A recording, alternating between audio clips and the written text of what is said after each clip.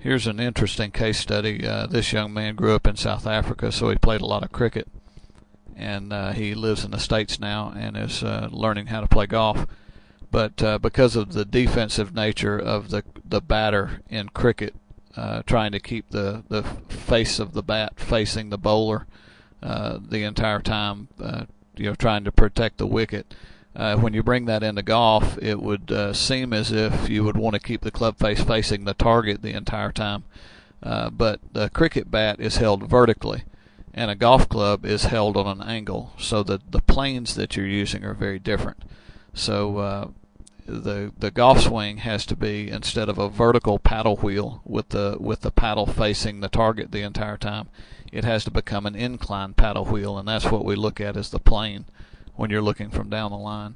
But I want you to see what this guy does. Firstly, uh, his hands, the the palm of the right hand is facing the sky. The logo of the glove is facing the sky, and the hands are out of line with the club shaft.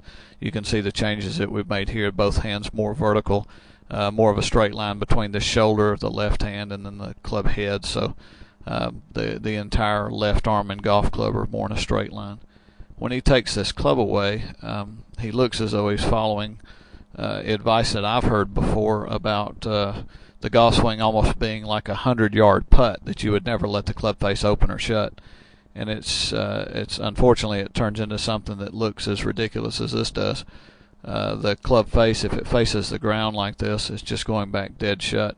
Uh, this guy even keeps the club face facing the ground from above his head, so it stays facing down for a very long time. Uh, the swing was very long uh, arms bent considerably. Uh, here at the top of the swing, you can see even the backside, the cavity of the golf club, uh, which means that the club face is facing uh, just straight, straight up into the air. As he comes down with his club face considerably shut, uh, he has to do everything in his power to keep the ball from going to the left of the target. So as he comes in, he has to try to hang on and keep this right hand uh, still facing the sky, the palm facing the sky as he goes through. That club face is already shut and it's not even touched the golf ball yet. So it's closed. He's supposed to hit this ball to the left, but what he does is he hangs on as long as he can to try to keep the club face from closing anymore. At some point, he can't help it, but the club face is going to close. It's going to continue around, but uh, he can't keep his right palm facing the sky all the way above his head. So at some point, this right hand has to turn, although he takes forever to do so. Right palm still facing the sky. And then finally, now it's starting to roll. So, uh, pretty unusual looking as far as golf goes. Uh, you'll never see a tour player look like that, um, especially coming down into impact. The club face can't be that shut as it approaches the golf ball. Uh, now, with this more vertical hand location, and uh, his new startup as he takes the club away. The club face opens more immediately from uh, from the golf ball, and then we can start seeing more of the club face instead of having the club face face the ground. Uh, the reason that he stops so short here, he stops up here close to his shoulder. I had asked him uh, because this was only a 24-hour interval. Uh, he took a lesson one day and came back the very next morning at the same time. Uh, I asked him when he went away to practice not to take any swings above his shoulder uh, so just short swings and slow swings so that he could understand what he was doing with his hands. And I think that's why he changed so radically. Um, when he comes down, he starts to close the club face to get into more of a comfortable position that he was in. Uh, you know, from his previous swing where the club face was more facing the ball coming down. We'll see that more from down the line too. But you can see that he comes in with much better alignments. His hand, his right hand, much more vertical to the ground. Uh, club shaft leaning forward. Um, he sticks it in the ground just a little bit here, which uh, he's still in the process of steering also. So the palm is still trying to face out towards the target. At least it's facing the target, not facing the sky. So uh, there's been some change there, but I still want to see the club face uh, closing more as it goes through. However, the way that he brings it down, even though he took it back better, the club face is going to be a little more closed in the downstroke, and therefore it's going to still require some form of steering. I want to see him a little bit more open as he comes into impact and then allow the club face to shut. So let's uh, go back to the down the line view for a moment. I think we could all agree, uh, based on the two golfers in these pictures, that uh, most of us would choose the guy on the right to play on our team. Uh, guy on the left, uh, his right palm's facing the sky still. Uh, this was the original video. Bad posture, hands real low, uh, hanging down directly below his shoulders, which you always hear. Uh, this uh, this address alignment is much better. The club shaft is pointed much higher. Uh, his hands are more vertical on the golf club. Uh, posture is better. It doesn't look like he's got as much bend in the knees, and he's not as bent over as far as his torso is concerned because his hands are not so low. But uh, this is the pretty amazing part here. This is how much he changed his golf swing in 24 hours. When he takes the club back, it looks like a garage door going up. It just stays facing the ground. Uh, when he gets the club to parallel to the ground, the club face is still facing the golf ball. This was the change that he made the next day because of his new grip and his new startup. You'll see as he takes the club away, the club opens much more immediately. The the club shaft is pointed more down at the baseline of the plane instead of pointed outside the plane. You can see here, if I back this up right to where the club is parallel to the ground, the club face is much more perpendicular to the ground instead of parallel to the ground in this picture. And the club head is shadowing his hands on the right instead of the club head being pointed uh, way outside of his hands.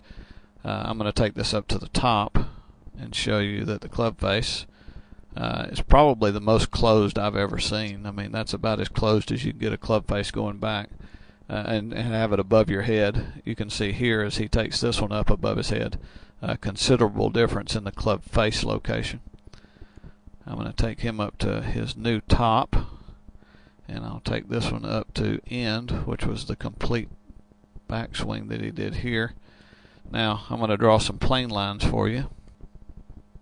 So when he comes down on the left side of the screen, uh, obviously I don't like the elbow location, the hand location, uh, nor do I like the club face. Um, you can see that this club face, as soon as it comes out, uh, oftentimes when you're looking at club face to hand, uh, you're looking for a line on the hand uh, to be the back of the wrist and the club face to match.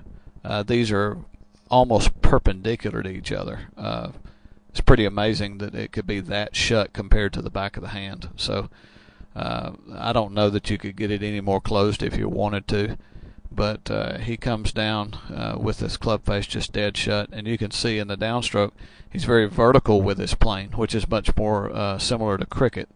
So uh, he's got the the club coming down very vertical, almost like a almost like a Ferris wheel, and has the club face facing the ground at ear level which is pretty amazing.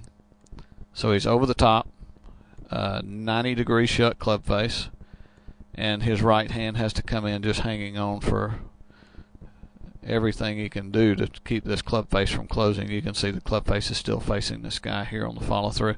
Exits below plane. He was so steep and over the top that he had to exit below. And now, in his downstroke, I want you to see he's certainly not as far over plane as he was. Uh, here's the the same thing that he had in this other swing. It's obviously it's not as closed, but you can tell that it's still closed. Uh, it's still uh, not even close to perpendicular to the ground coming down, but um, it's it's uh, almost uh, almost perpendicular to the plane line. So it comes down a little over plane still, which you know we're curing that uh, next time he shows up ball takes off to the left. Now here's the thing that I want to change.